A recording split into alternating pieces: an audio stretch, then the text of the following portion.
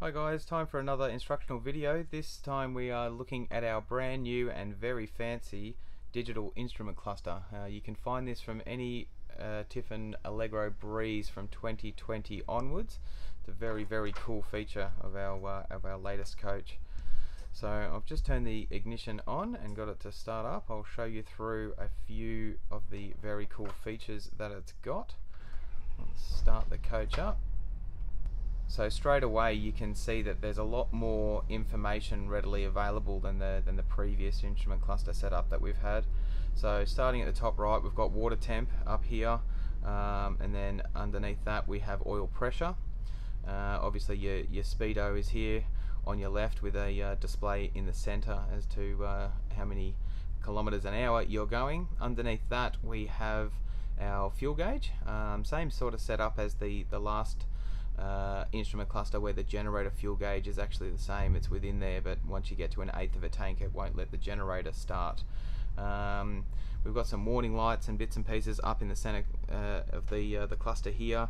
Um, we've got a, a, warning that's in the middle here saying your pre-drive items. I'll get to that in a second. We have trip meters and uh, fuel economies and how much distance we have left. Um, disregard these these figures. The, the, the coach has been idling and hasn't been driven anywhere yet, so it's uh, it's obviously not displaying its correct economy and distance to empty. Um, over on the right, we've got our tachometer, um, so that shows us where uh, what our revs are doing. Uh, within that, we've got our DEF AdBlue tank level. We have chassis battery voltage, and we have front and rear air pressure uh, levels. Uh, it's got a, a, a, temperature reading down here.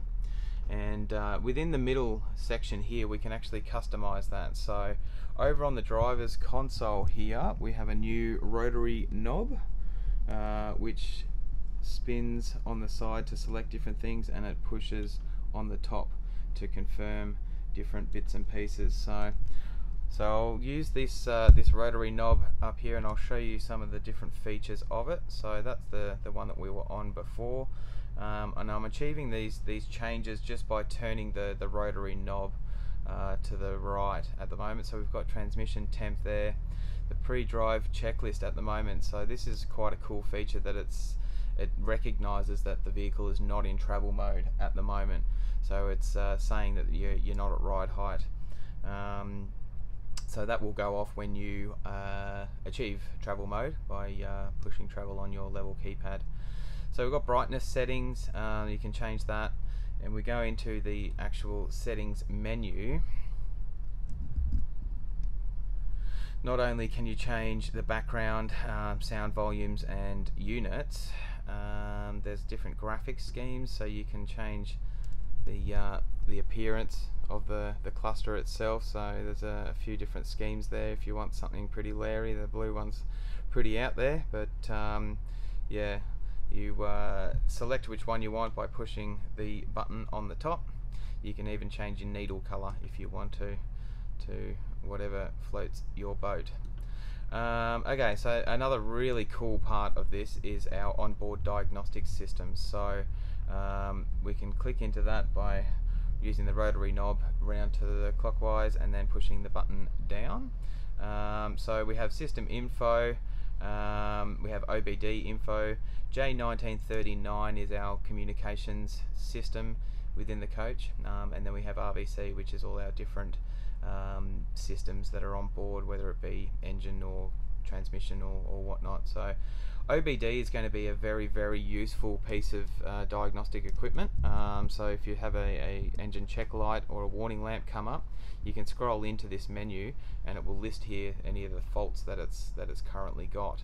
Um, so yeah, super handy for for uh, diagnostics when you're on the road.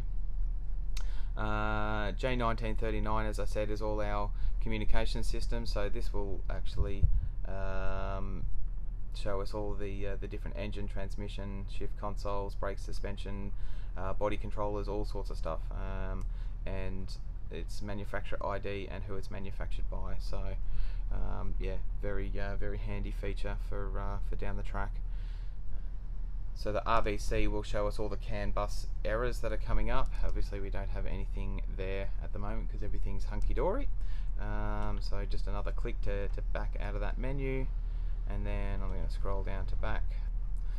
Configuration won't be necessary for you to get into, that'll be more so for uh, our service team uh, for their side of bits and pieces. But yeah very cool instrument cluster uh, with a lot more user friendly and a, a lot more uh, information that's easier to be seen. So uh, and very customizable